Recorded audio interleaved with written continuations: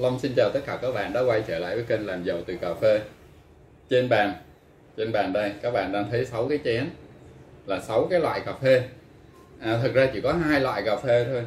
À, A với rô nhưng à, có ba à, ba chén là A nhưng mà rang các thang độ khác nhau. Rồi có hai chén là rô và một chén là culi rang thang độ rất là đậm có thể là French hoặc là Italy đó. À, tại sao hôm nay lại bày à, sáu cái chén cà phê như thế này? À, Long thích cái số 6 và cái số 8 à, bởi vì có vẻ nghe là à, số 6 và số 8 là số rất may mắn nên là đây có 6 chén. À, còn một số mẫu thì thôi à, có nhiều đây chia sẻ các bạn được rồi. À, video hôm nay chia sẻ với các bạn là à, blend cà phê.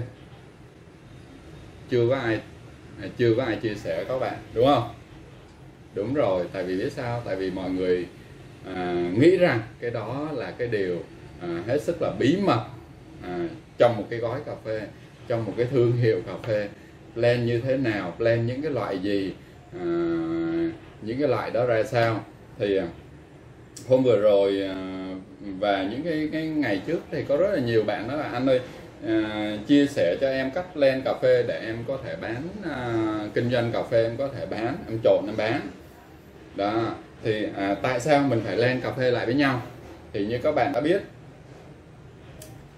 à, cà phê có hai loại thường có hai loại chính thôi đó là A với rô và các bạn hình dung rằng A giống như là à, cà phê A giống như là người con gái vậy đó. còn cà phê rô là giống như người con trai vậy đó A cho cái hương hương thơm còn rô cho cái thể chất à, mạnh mẽ giống như anh trai đó và chính vì như vậy à, thì mình cần len lại với nhau.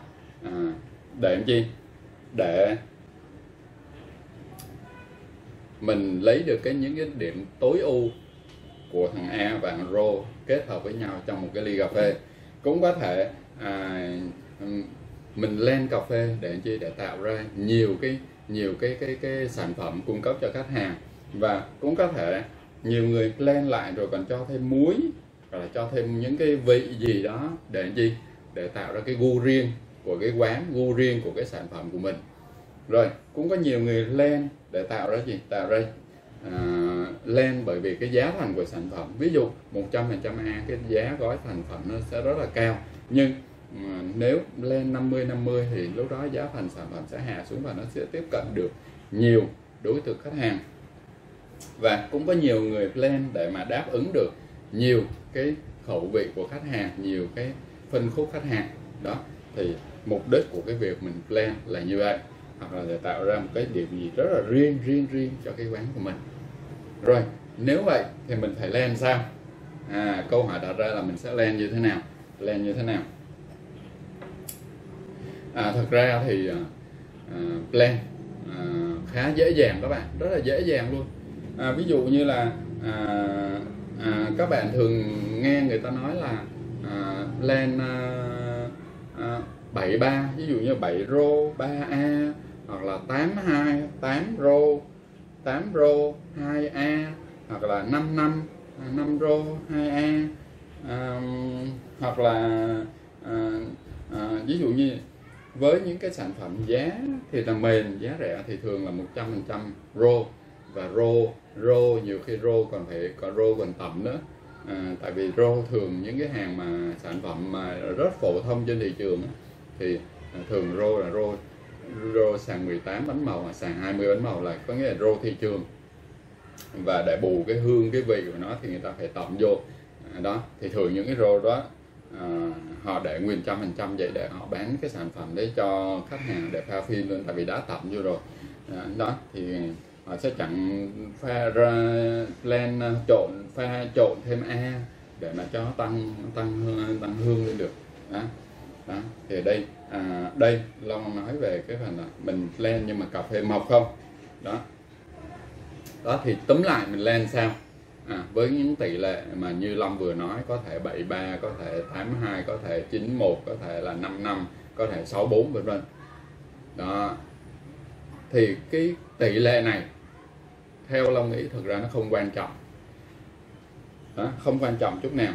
Bởi vì sao?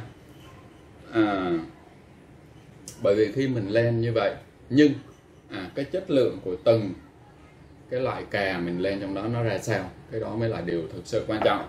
Nếu các bạn đồng ý cái việc này thì các bạn hãy comment bên dưới hoặc theo các bạn cái điều gì là quan trọng nhất khi mình lên như thế này. Tại vì nếu mà chỉ đơn thuần là à, lên theo tỷ lệ thế này thế kia thế, à, thế hai tám hay là bảy ba vân vân thì quá dễ dàng.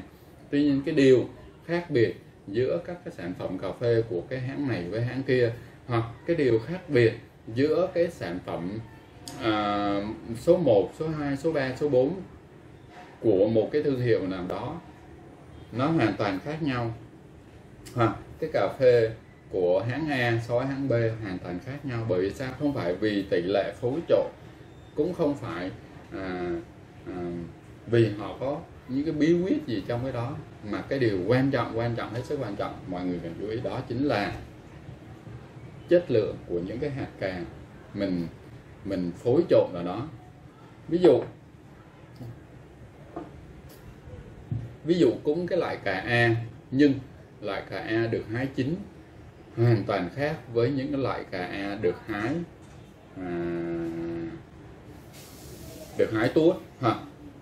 Dễ hiểu hơn nữa ví dụ cà rô cà rô cà rô được hái chín được sơ, sơ chế tốt thì hoàn toàn khác với cái chất lượng của cái hạt cà rô à, hàng thị trường hàng ở ngoài thị trường người ta hay gọi là hàng um, rô bánh màu à, rô sàn 18 rô sàn 20 bánh màu đó những cái hàng thị trường. Và giá nó giá nó hoàn toàn chênh lệch giữa một cái ví dụ như cái hàng rô thị trường. Giá khoảng chừng ba mươi mấy tới bốn mấy thôi. Nhưng cái hàng rô mà được sơ chế được hái hàng rô gọi là rô chất lượng đó, thì nó đã ở mức khoảng sáu mươi mấy rồi các bạn. Năm mươi mấy tới sáu mươi mấy rồi. Rồi quay lại. Ví dụ à, cách sơ chế rồi các sơ chế khác nó đã chất lượng nó đã cho ra khác rồi. Một cái nữa khác nữa là gì? À, rang kỹ thuật rang kỹ thuật rang của từng loại cà như thế nào? Thang độ rang của từng loại cà như thế nào? Ví dụ ở đây cũng một loại cà nhưng ba cái thang độ rang khác nhau. Ba cái thang độ rang khác nhau thì chắc chắn một điều nó sẽ cho ra những cái hương vị hoàn toàn khác nhau. Đây hai cái đây cũng một loại cà A.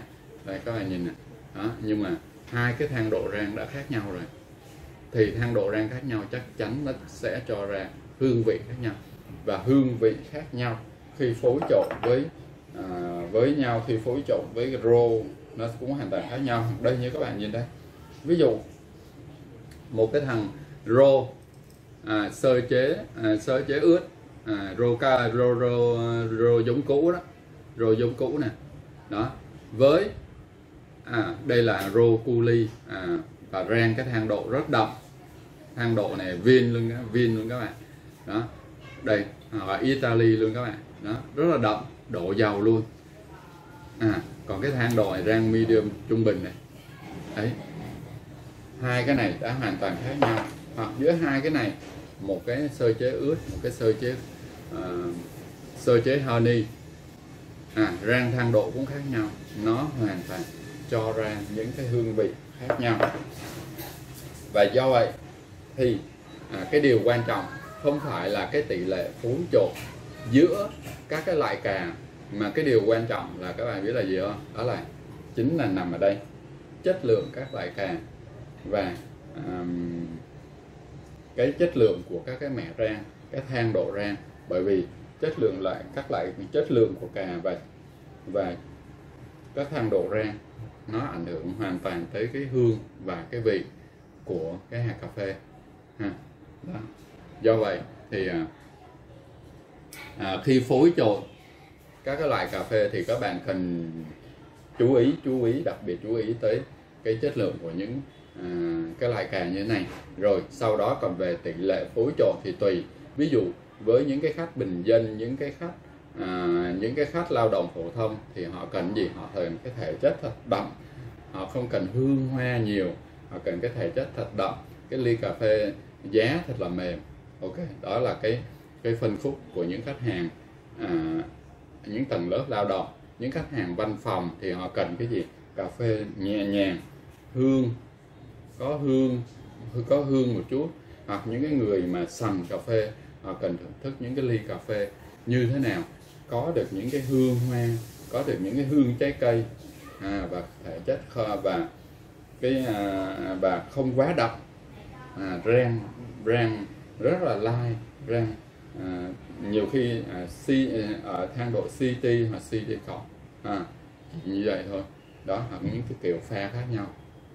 Đó do vậy thì à, à, các bạn cần chú ý tới chất lượng của cà. Còn cái tỷ lệ phối trộn thì tùy cái khách hàng tùy cái đối tượng khách hàng tùy cái cách mình làm sản phẩm mình có những cái tỷ lệ phối trộn thật. Khi phối trộn như vậy ví dụ như 28 mình test mình cảm nhận là à nó phù hợp với đối tượng này hoặc là mình cảm nhận ok nếu với mình nó như vậy ok thì hoặc là mình có thể test à, à, nhờ khách hàng đánh giá. Đó thì mình có thể điều chỉnh cái đó rất là dễ dàng. Cái quan trọng là cái nguồn cà phê như thế này ha chất lượng cà phê như thế này. Cái đó mới là điều quan trọng trong cái việc mà mình phối trộn cà phê ha. Trong cái việc mà mình à, hoặc khi các bạn đã có được cái nguồn nhân tốt các bạn rang nó tốt các bạn rang theo đúng cái ý đồ của mình để mình phối trộn thì cái đó mới là cái câu chuyện của cái phần mà blend cà phê phối trộn cà phê.